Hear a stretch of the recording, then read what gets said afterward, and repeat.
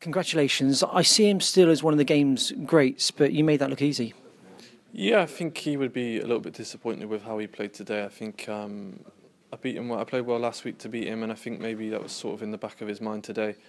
Um, he was a little bit worried about my game rather than concentrate on his own. So uh, any game you you're going against John Higgins, for me, I, I can sort of get up for it. There's, there's um, as you go through the week, uh, the first couple of rounds were quite tough for me to get up for after what happened last week, and then when you start start playing Mark Williams and John Higgins, you get that buzz again, and, you, and you're able to bring out your best form.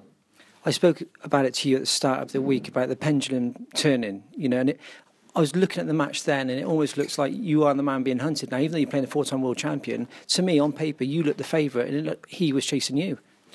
Yeah, um, I feel very comfortable in my game at the moment. I think. Um, I've had some real good match practice before sort of the season started and during the season with Ronnie in his exhibitions and uh, I've sort of been able to use that as good experience and uh, any time I go against the top players now I, am full of confidence really and um, I think you can kind of see that out there. I feel very good, very sharp and scoring very heavy and I think um, when you're able to get off to a good start and uh, sort of make a break first frame, it puts the other person on the back foot and he was just maybe a little bit overthinking stuff out there. And um, yeah, you know when, when you start missing out, there is the hardest place in the world to get to get back to um, get back to potting again. I think Mark Selby does that better than anyone. He can really put things behind him. I think the rest of the players, including myself, do struggle with that, and I think that's what happened today uh, fair play to John. He said that you blew him away, and, and you did. You know, as we were watching it.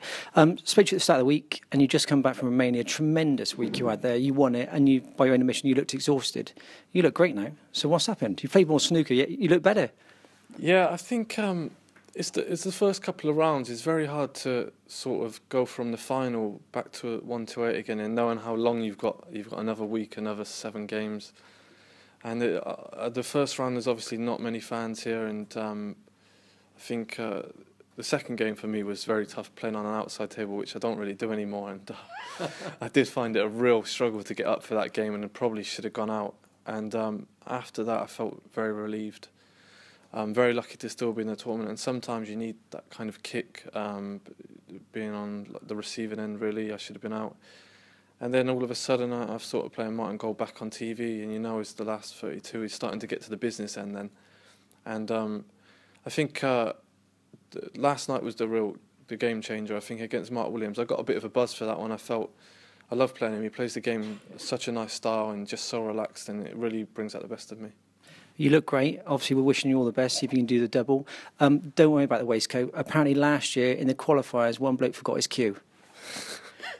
oh, that happens to me as well. as long as I bring my cue and waistcoat, I'll be happy. Good luck, mate. Cheers, mate. Thank you.